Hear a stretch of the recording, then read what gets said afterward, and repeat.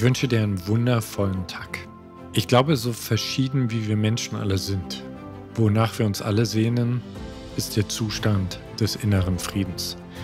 In meiner letzten Podcast-Episode habe ich über dieses Thema gesprochen und ich freue mich sehr, dass es so stark bei euch angekommen ist. Heute bekommt ihr nun die dazugehörige Meditation, wie versprochen. Ich empfehle dir allerdings erst den Vortrag zu hören, also in der letzten Episode, und dann die Meditation zu genießen. Sie schenkt dir einen Zugang zu deinem inneren Frieden. Den wünsche ich dir und einen wundervollen Tag.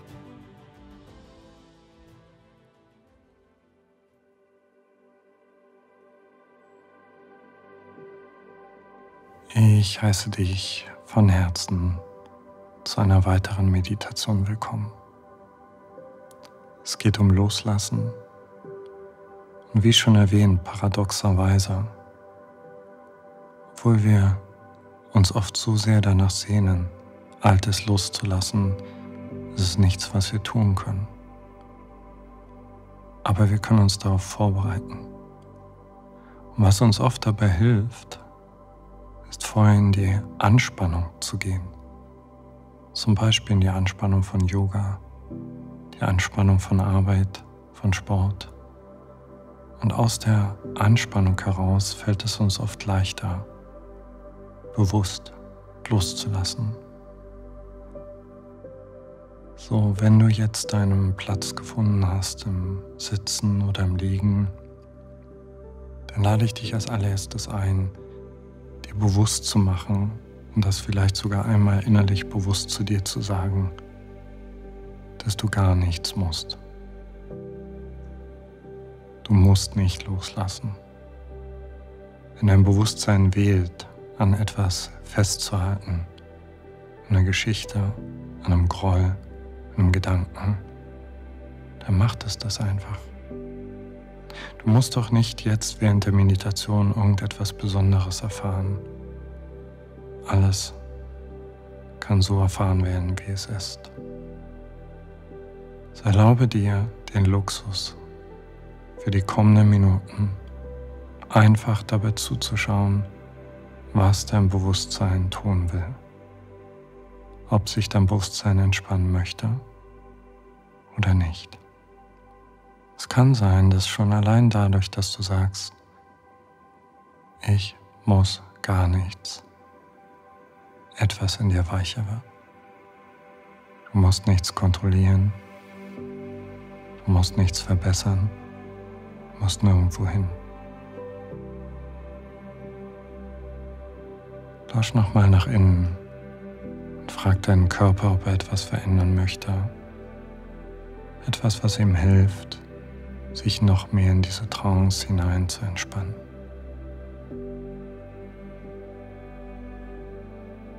Und falls du deine Augen noch nicht geschlossen hast, lade ich dich ein, wenn das angenehm für dich ist, die Augen jetzt zu schließen. Dann lausche nach innen.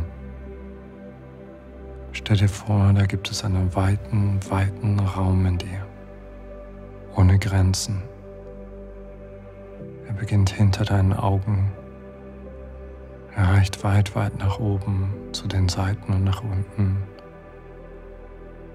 Bewusstsein, freies, unbegrenztes Bewusstsein.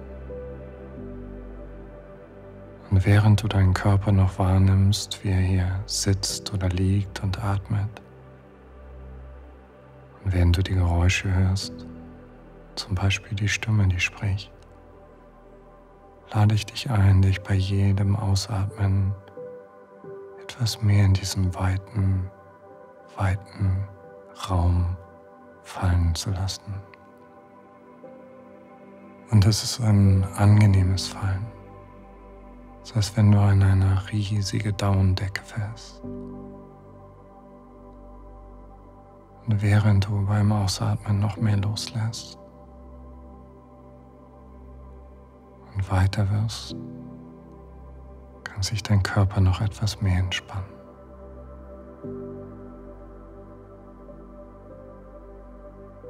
Schultern können noch etwas mehr loslassen. Deine Stirn kann sich entspannen, wenn sie möchte. Und die Arme und Beine können etwas schwerer werden. So wie fühlt sich das für dich an, wenn du dir für einen Moment erlaubst, überhaupt nichts zu müssen.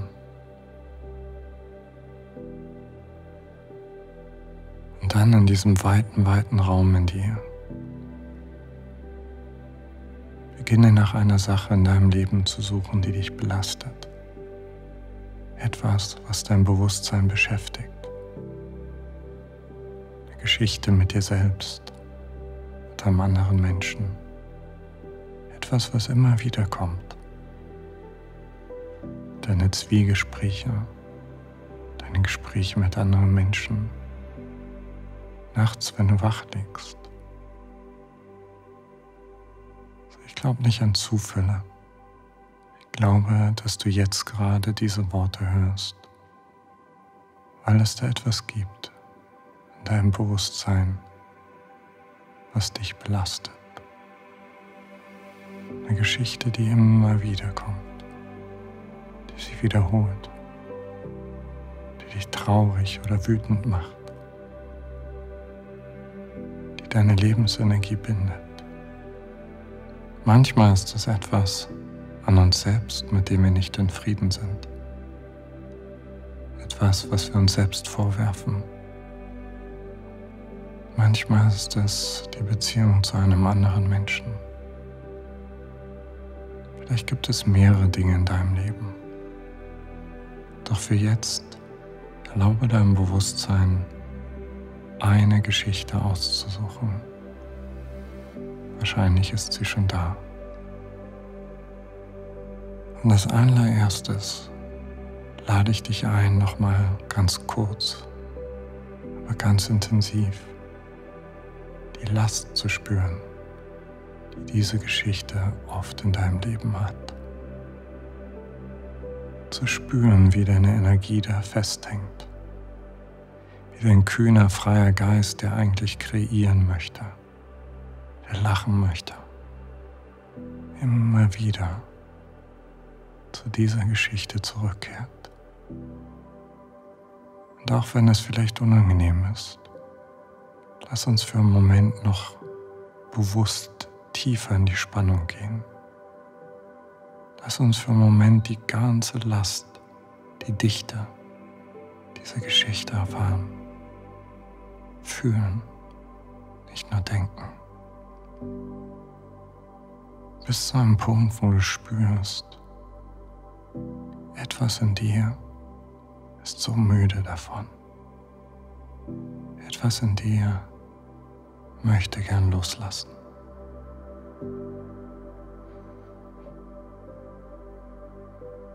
So kannst du spüren, wie viele Momente deines Lebens dich diese Geschichte kostet. Wie oft die Gedanken daran deinen Körper verkrampfen lassen. Wie oft deine kostbaren Gedanken, anstatt nach vorn zu eilen und sich mit dem zu beschäftigen, was du dir wünschst, zurückgehen in die Vergangenheit, da festhängen in einer alten Schallplatte. Ich stelle dir jetzt eine wichtige Frage und ich lade dich ein, die Antwort auf diese Frage ganz ehrlich aufsteigen zu lassen. Bist du bereit, diese Last, diese Geschichte gehen zu lassen? So falls ein Nein kommt, vertrau dem Nein. Dein Bewusstsein ist sehr, sehr intelligent. Du kannst dann nachfragen. Du kannst fragen, was bräuchte es denn, damit ich bereit bin. Was ein Ja kommt, stell dir jetzt vor, dass es in diesem weiten Raum des Bewusstseins, in dem du dich gerade befindest, einen Kreis aus Licht gibt. Du kannst diesen Kreis auch, wenn du möchtest, selbst auf dem Boden zeichnen. Kreis auf Licht, in dem du frei bist. Frei und klar. Und dann stell dir in deinen Gedanken vor, wie du dich in diesen Kreis stellst. Vielleicht kannst du sofort die Erleichterung spüren. In diesem Kreis bist du frei. In diesem Kreis bist du geschützt. Hier kommen wirklich nur Dinge rein, die dir gut tun. Genieße diesen Moment in dem Kreis und dann denke noch einmal diese Geschichte, die du loslassen möchtest. Und du fragst dich noch einmal, bin ich jetzt bereit dazu, diese Geschichte aufzulösen, selbst wenn ich vielleicht noch nicht weiß, wie das geht.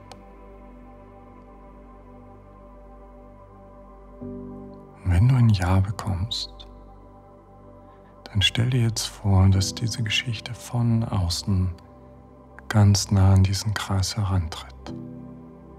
Sie kommt noch nicht rein. Sie kommt näher.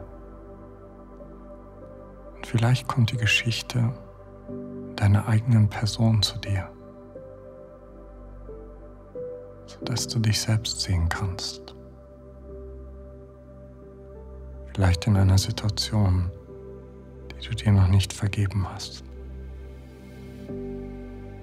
Vielleicht kommt aber auch ein anderer Mensch in den Kreis, den du noch nicht vergeben hast. So sieh diesen Menschen da stehen.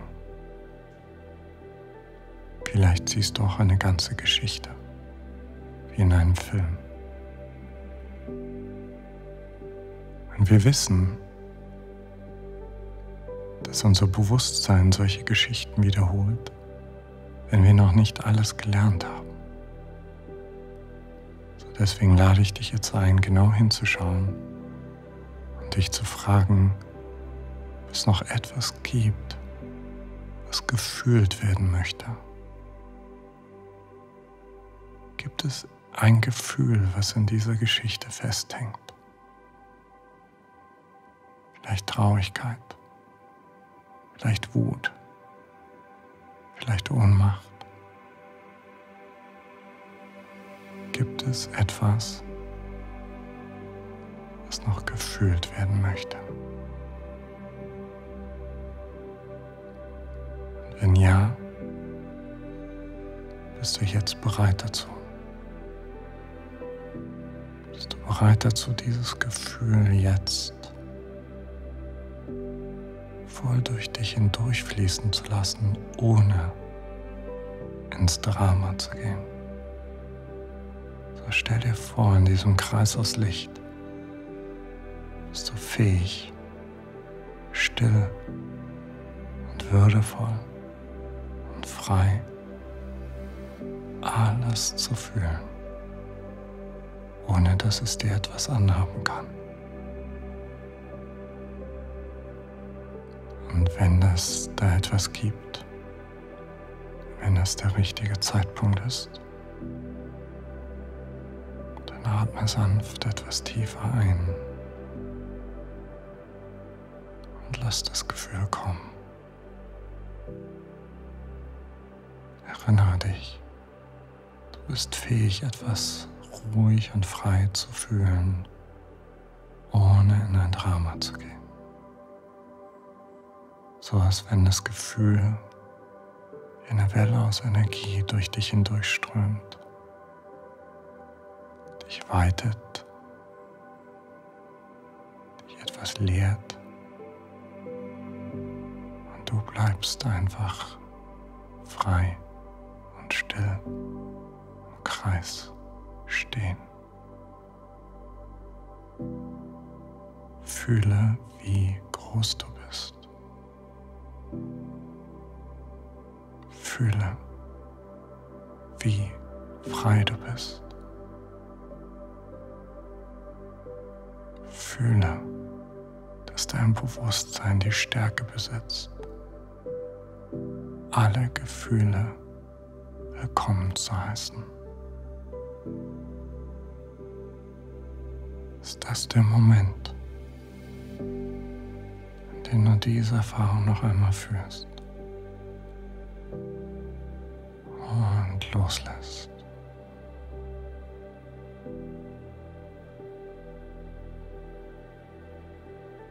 Wir müssen Gefühle nicht ewig lang fühlen. Manchmal reicht ein reiner, intensiver Moment. Und dann können wir es gehen lassen. Es kann sein, dass sich die Geschichte im Außen jetzt bereits etwas beginnt zu entspannen, zu verändern weil du ihre emotionale Lektion annimmst.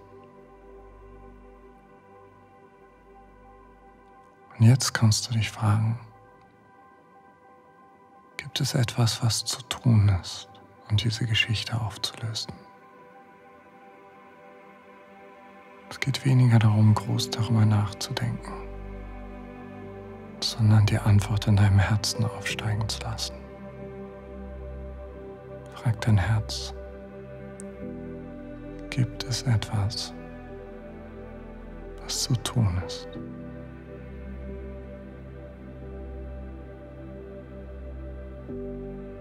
Vielleicht etwas, was du aussprichst dir selbst gegenüber oder einem anderen Menschen. Vielleicht etwas, was du konkret tust.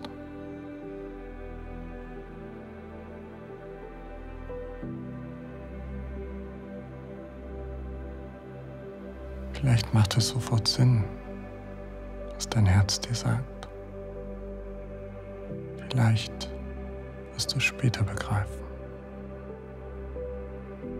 Was wünscht sich dein Herz von dir?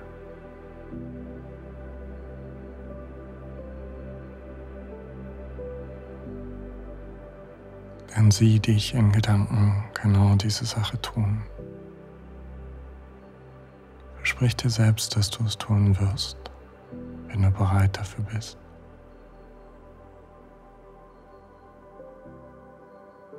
Und vielleicht kannst du fühlen, dass die Geschichte da draußen außerhalb von deinem Kreis aus Licht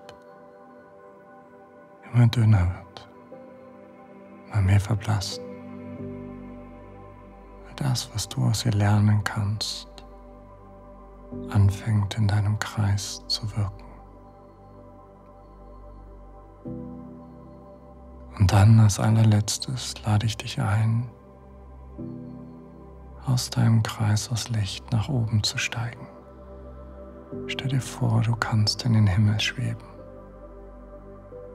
Und du schaust von da oben auf diese Erde,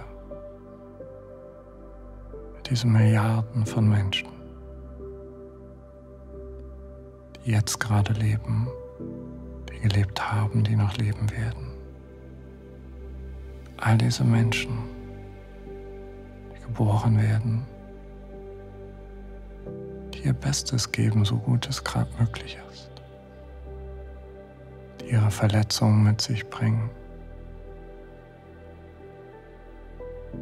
die oft ignorant sind, weil sie es einfach nicht besser wissen. So sieh da nach unten, sieh das Gewimmel und sieh diese eine Sache diese eine Geschichte, von der du bis eben noch geglaubt hast, dass sie ein Fehler ist. Sieh darunter und sieh, wie winzig sie ist in diesem riesigen Universum an Möglichkeiten. Und reise noch weiter hoch. Sieh die Erde eingebettet in unser Sonnensystem. Die Sterne, Galaxien und sieh das alles, was da unten auf dieser kleinen, winzig kleinen Erde passiert, irgendwie durch diesen gesamten Kosmos beeinflusst wird. Und von hier oben, wenn du runterschaust, kannst du sehen, kannst du verstehen, wie absurd es ist, zu denken, sich anzumaßen, zu denken. Du würdest verstehen und du wüsstest, was damals hätte passieren müssen.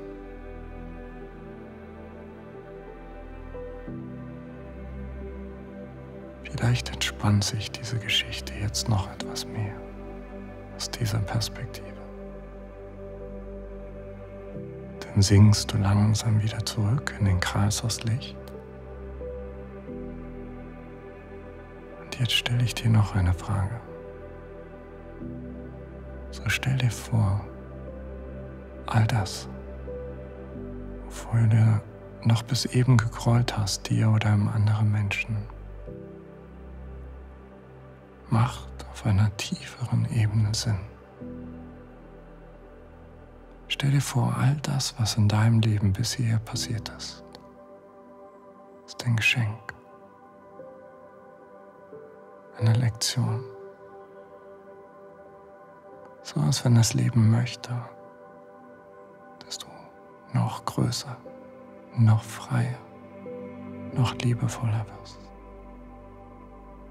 So wenn du jetzt aus deinem Kreis aus Licht auf diese Situation schaust und dich fragst, wenn das alles meine maßgeschneiderten Geschenke sind, wenn das alles dafür da ist, dass ich erwache, was könnte das Geschenk dieser Geschichte für mich sein.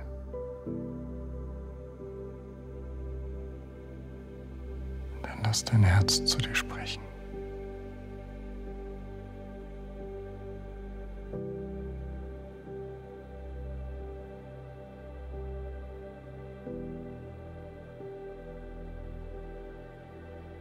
Vielleicht sagt dein Herz, da gibt es kein Geschenk. Ich will kein Geschenk sehen. Respektiere diese Wahl. Doch vielleicht erkennst du gerade, dass es einen Wert daran gibt. Und dass es Zeit ist, diesen Wert für dich nach Hause zu holen.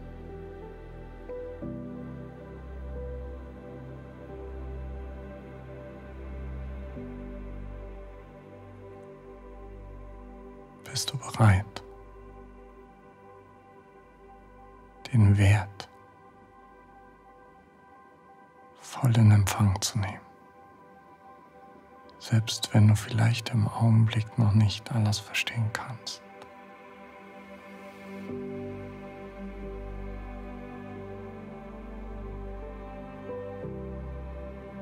Und wenn du darauf ein Ja bekommst, dann öffne jetzt deine Arme und hole diese Geschichte in den Kreis anstatt zu versuchen, sie loszulassen, umarme sie. Stell dir vor, du wirst im Kreis eins damit.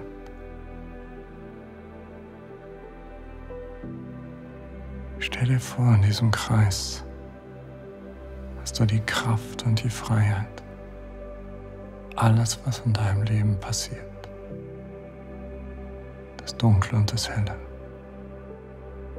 Schmerz und die Freude mit offenem Herzen zu umarmen. Du lässt es los, indem du es voll umarmst,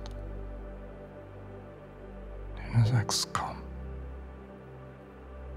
nimm mich, lehre mich, führe mich weite mich. Zeige mir, wer ich wirklich bin.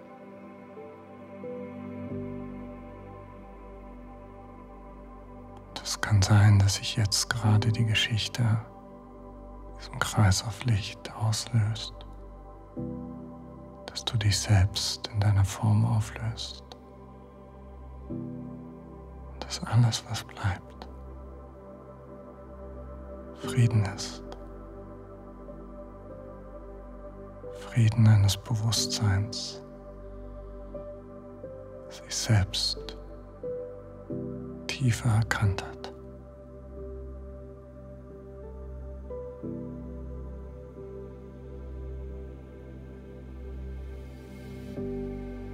Erlaubt dir noch für einen Moment in diesem kostbaren Frieden zu ruhen.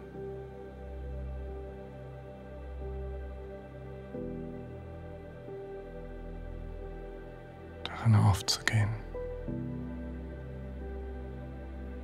Frei zu sein.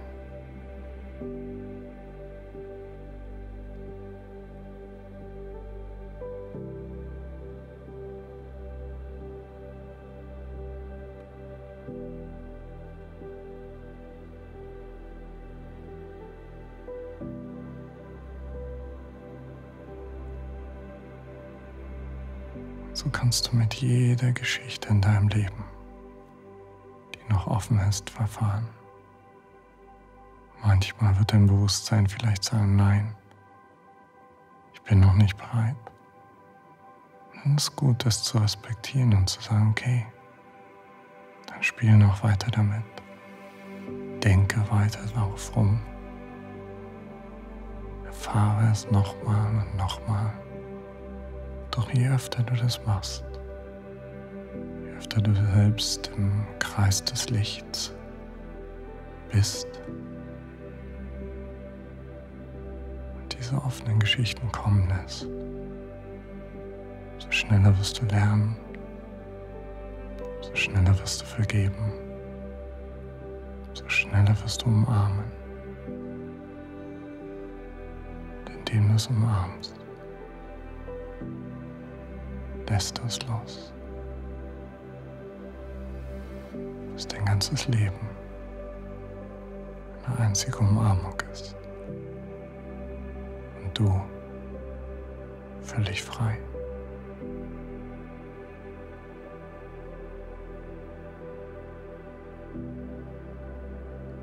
Und wenn du in einigen Momenten wieder zum Tagesbewusstsein zurückkehrst, lade ich dich ein, die Brücke zu schließen zu deinem normalen Bewusstsein, indem du dir wieder ein Blatt Papier nimmst und einfach formulierst, was du bereit bist zu vergeben bzw. loszulassen. Und erinnere dich daran, es ist nicht wichtig, du weißt, wie das geht. Es ist einfach nur wichtig, deinem eigenen Bewusstsein zu signalisieren, ich bin bereit zu vergeben. So setz dich hin und lass dich überraschen, was du alles vergeben möchtest.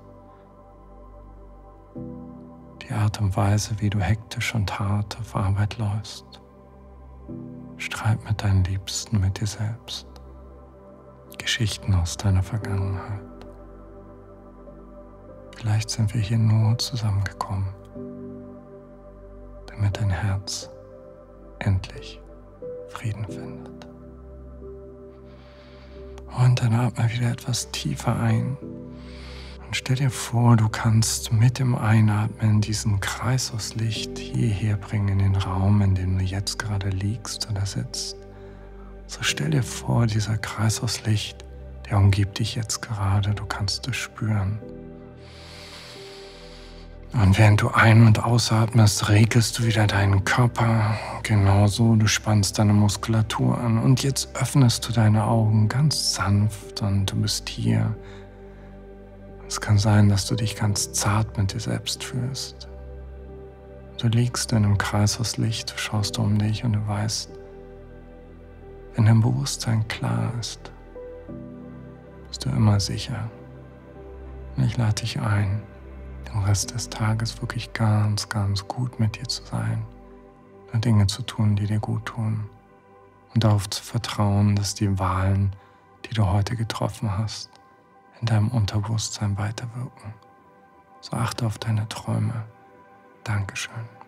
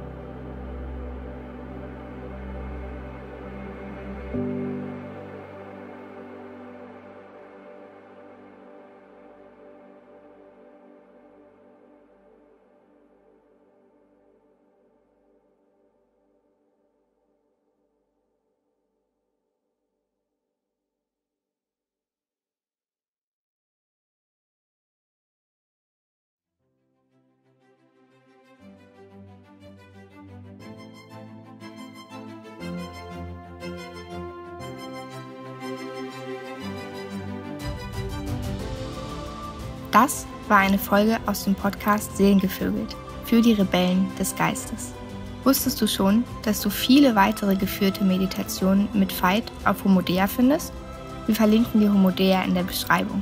Wir freuen uns auf dich.